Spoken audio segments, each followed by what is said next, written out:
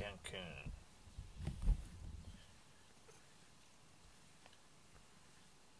えー、っと犬と猫のアレルギーであることが判明した黒犬パパでございますが全然猫を避けるつもりなどありません。むしろ。はいはい。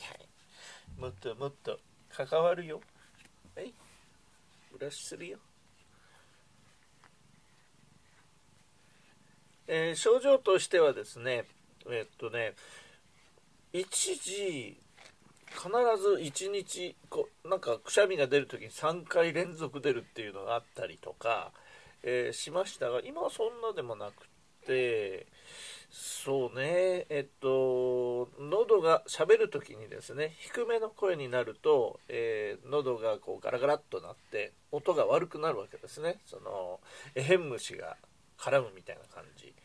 でこれが、えー、歌を歌う時にですね、えーし、えー、しの音とどの音わかるかな？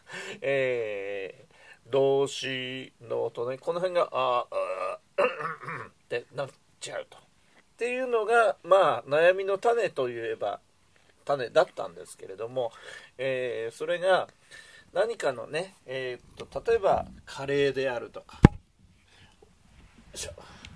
そういうことであれば何か改善するためにえー、何？運動をするのかなとかいろいろややろうかなと思っていたんですが原因が猫っていうことになると話は別です。うちの場合は猫様の 方が、えー、優先順位高いですから、えー、だったらもう気にしないと。いうことにしました。歌の方も、えー、その音を軽く出すための歌い方っていうのがあってですねうーっていう、えー、うなるような歌い方をしないで「はあはあ」の音を、えー、出せばいいというふうに決めました。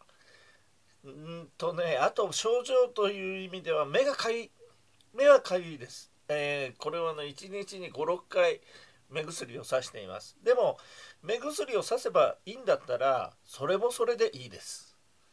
ということで猫アレルギー克服克服いたしました克服かな。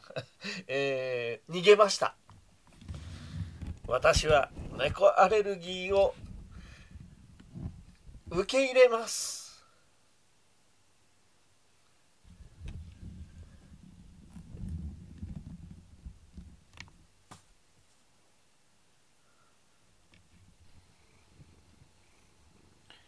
じゃんくん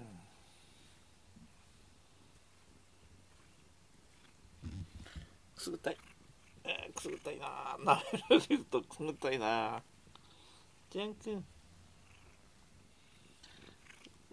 くすぐったいわはい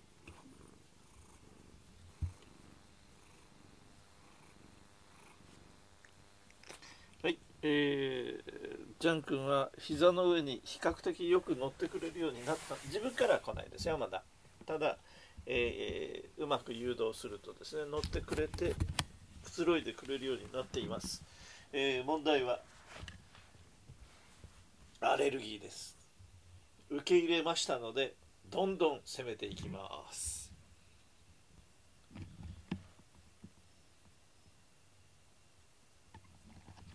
よいしょえいよいしょく。